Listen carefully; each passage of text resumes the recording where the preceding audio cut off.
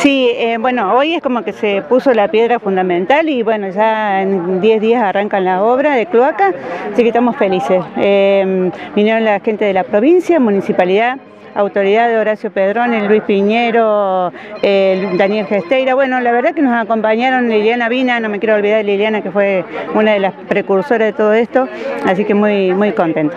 Recordemos a cuántas familias va a beneficiar esto, Natalia. Eh, son 120, 123 familias y bueno, eh, obviamente es toda la obra. Ahora se empieza con cloacas, pero después viene la segunda etapa que es cordón cuneta, adoquinado, eh, parquización eh, bueno, y también lo que es la, escritura de cada propiedad.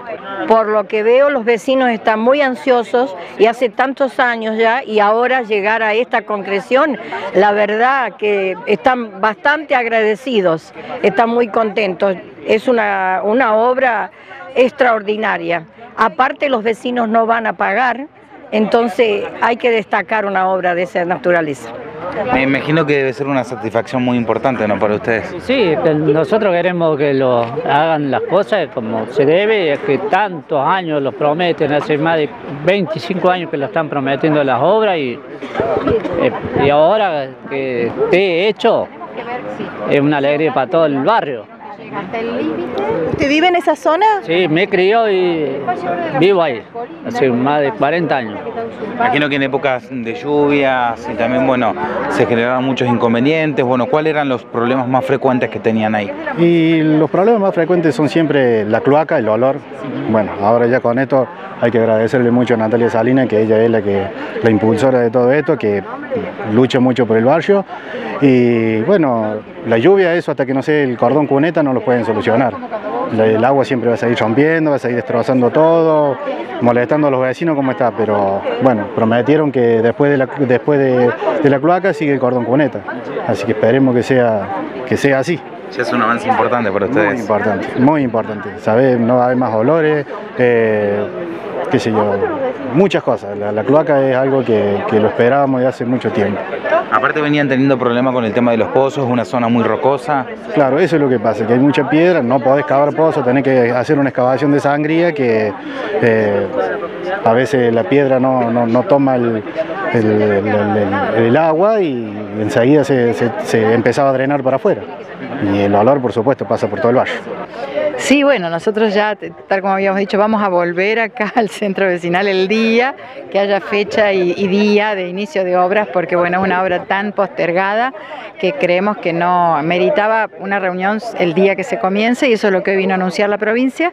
La provincia ha contratado la obra de cloacas dentro del, del plan de obra general del PROMEVA, que es la obra más importante y la que nos interesa centralmente por los problemas de contaminación que tenemos y puntualmente acá muchas familias concentradas sobre suelo rocoso y bueno, vino la gente de la empresa, ya la semana que viene comienza esta obra que lleva ya 15 años de gestión municipal ante la nación, porque es un programa nacional, el programa originalmente, atravesado por bueno, todas las vicisitudes políticas imaginables a lo largo de este tiempo y afortunadamente ahora la provincia ha afectado los fondos para encarar desde ese ámbito la obra de cloacas y arranca la semana que viene, así que bueno, contentos porque se ha destrabado una, obra importante para los vecinos, a costo cero para los vecinos, con un mejoramiento urbano importante. Nombra la cuestión de las cloacas, pero es una obra integral, ¿no? Que también implica muchas otras cuestiones. Sí, la obra es cordón cuneta, adoquinado, con veredas incluidas, rampas, arbolado, alumbrado público, paradas de ómnibus, todo lo que implica el equipamiento y la infraestructura urbana completa, porque por eso el programa se llama Programa de Mejoramiento de Barrios.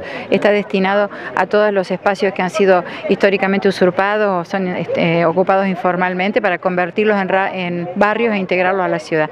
Por eso incluyen incluso la subdivisión y la, escritura para que pasen a ser, digamos, de, ocupantes informales a vecinos ya propietarios en la ciudad. Usted que ha trabajado durante mucho tiempo, ¿no? Me imagino que en el contacto con los vecinos deben agradecer y deben estar muy, muy esperando esto, ¿no?